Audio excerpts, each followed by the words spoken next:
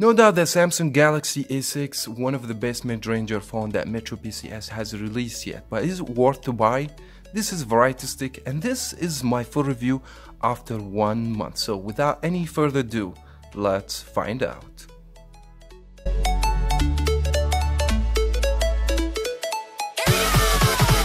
Now by looking to any smartphone, the first thing you will see how the phone look, how the design and this is one of the things that paid my attention on the Galaxy A6. From the front, the phone adopting the new ratio 18 by 9 with that beautiful infinity display from Samsung. As well as we will notice that there is a flash on the front beside the camera on the phone.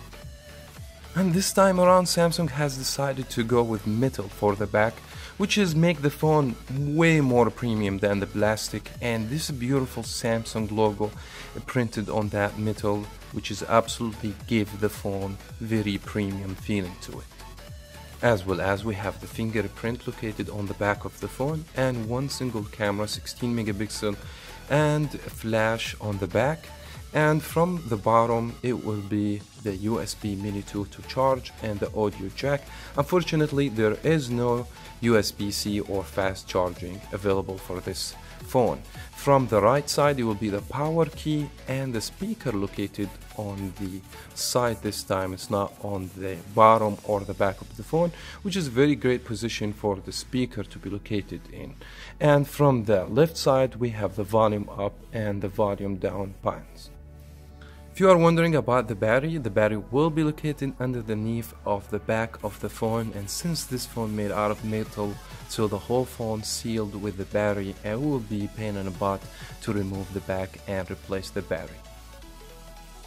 If you think that you want to buy the Samsung Galaxy A6 for the quality of the display, the sharpness, the amount of PPI, the resolution, then don't buy the Galaxy A6 for the display. The display has only 5.6 inches. Yes, is adopting the new ratio 18 by 9, but the resolution is very disappointing. We have 720 by 1480, which is just only regular high definition, so we don't have full high definition or any more resolution. The PPI is very disappointing, 294. We have seen phones that way cheaper and way more PPI, which is doesn't make the phone look bad because the display doesn't have the highest uh, specification to it. I mean, in my opinion, this is a super AMOLED display, has very nice colors into it. The angle view is perfect, and in my opinion, is a lovely display, but not as what we were expecting. Now we are still in the disadvantage department uh, talking about the Galaxy S6. As everybody knows, the Samsung Galaxy A6 doesn't have the removable back, which is the battery should be sealed inside the phone, which is totally fine because most of the phones go that way. I know it make it a little hard, tough to replace it or have another one or spare one, which is many people don't like this. But there is also many people they don't even care about that because that just become a trend in uh, cell phones in general of having the sealed battery inside the phone. But what's the main disappointing thing over here, which is the size of the battery itself only 3000 milliamp hour battery yes the phone doesn't have the highest resolution the, the highest brightness for the display but still there is many apps you have a very high processor processing image the GPU and all that stuff. If you are willing to play games and stuff like that that will drain the battery. So quick let's come to the conclusion of the battery. So I've been using the phone for one month. The phone either give me 5 to 4 to 5 hours screen on time. This is good as an average for the battery usage but this also by the time it will be way less performance for the battery. As everybody knows when you purchase the phone you use it for the first month the battery is great we don't have a problems and after that we'll see the level of the uh, battery performance will be decreasing. But it is what it is it can't change much in this department. So if you are looking for the phone that has great battery performance also the Samsung Galaxy A6 maybe not your choice let's end talking about the negative things on the Galaxy S6 and talk about some advantages the phone may offer you The phone has absolutely high speed processor from Samsung. So we have Exynos 7870 octa-core 1.6 is a blazing fast processor and the GPU has very great performance so we have GPU Mali T830 has very good performance especially for those people they want to play games on the phone. I have already made a video to review games so go ahead guys if you missed that video I will leave the link on the description box to watch the performance of the phone when you play games. Now for the internal memory I'm not too impressed. We have 32 gigabyte for the storage and you can expand the storage by adding SD card up to 128 gigabytes and the RAM on the phone will be 3 gigabytes of RAM. Unfortunately for those people buying the phone from Metro by T-Mobile they don't have the option to go for the higher one which is Samsung has made the same phone with 4 gigabyte of RAM and 64 gigabyte for the storage. To whom may ask for the Geekbench results, we have done the Geekbench test and the phone recorded the score for the single core 1217 and for the multi-core 397.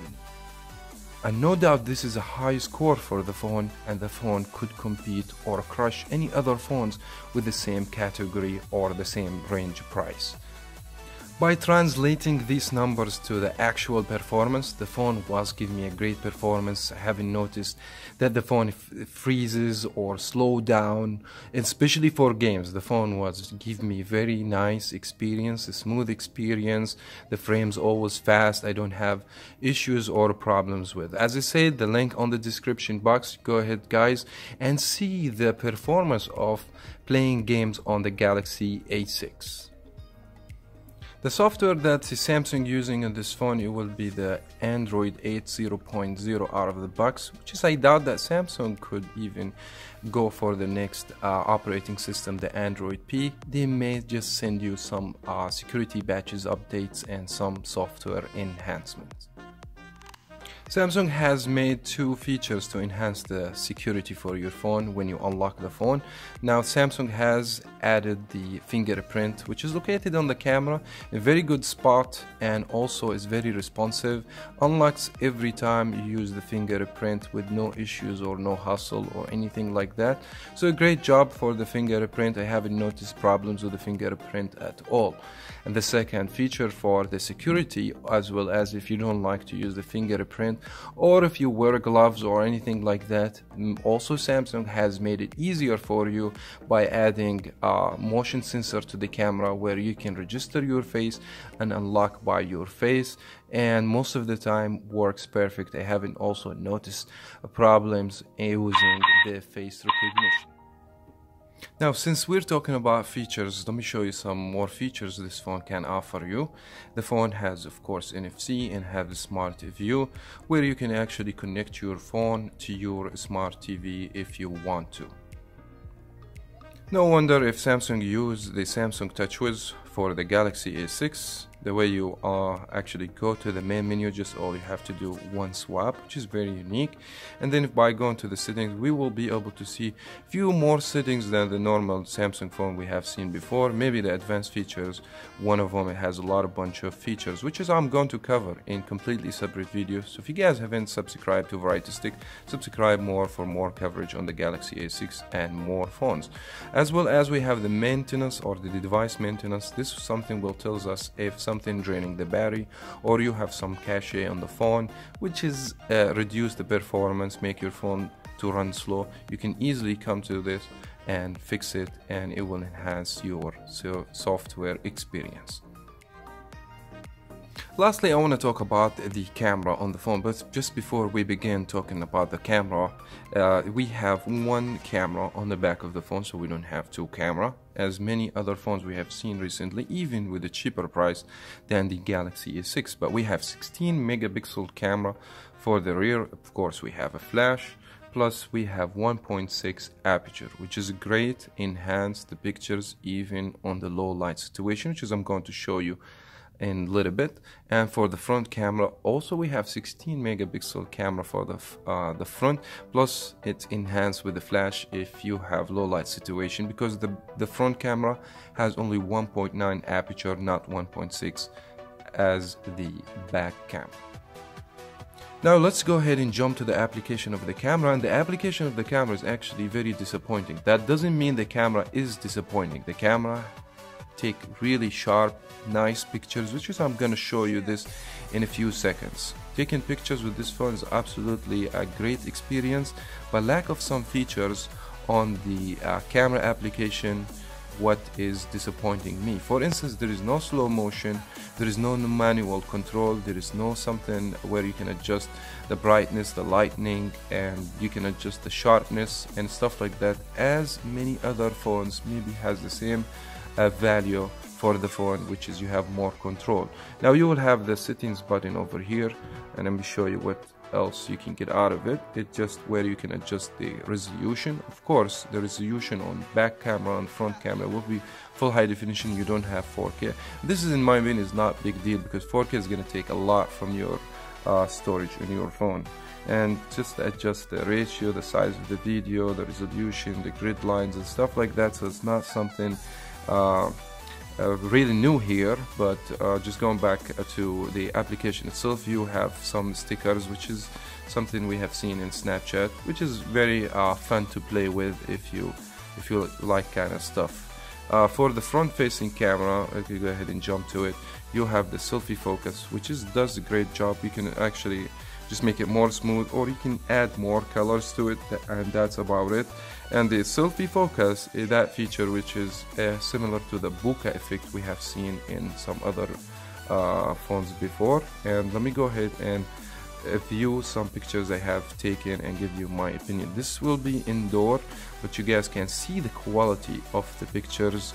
I mean no matter how much you zoom the quality it will stay in a good shape. As I mentioned I'm not happy with what the camera application features offer you but I'm so happy with the results because everything has to be auto I mean color contrast there is no noise or anything like that. Even that I have taken these pictures with not much lights but still the camera does a great job. Selfie outdoors absolutely amazing. I mean you guys can look to the background you're not going to see anything washed out.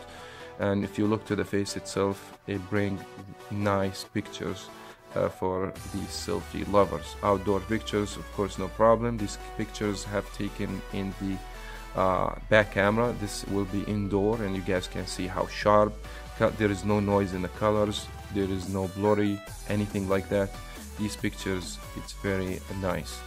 And here's just want to show you if we zoom you can see how much details this camera can capture. So it's amazing performance for the camera little bit of lackness of the features you can do but at the end Samsung they don't want to do it that way. But believe me guys the camera is absolutely amazing. Indoor using the selfie focus which is blurry the background it still can bring up uh, maybe it's not the best you know what I mean blurry picture I have seen or bokeh effect I have seen but uh, bring very nice uh, picture. Back to the good sensor on the camera itself I think that was very much it for uh, the camera. Now in conclusion, is this phone worth to buy for around $300? In my opinion, yes, the phone is worth it. Maybe not every aspects on the phone the way I want it to be. At the end, I compromise it with the price. This is not a flagship. I would say this is a mid-range phone. Yes, the phone doesn't have the highest resolution, doesn't have uh, at least 4 gigabytes of RAM or 64 gigabyte storage, but at the same time, the camera give me so good pictures, great performance, for gaming the processor speed the phone most of the time is smooth I haven't noticed overheat problems or anything like that. So in general this is a great phone in my opinion after using the phone for one month. And if when I give this phone a rate I will give this phone 8 out of 10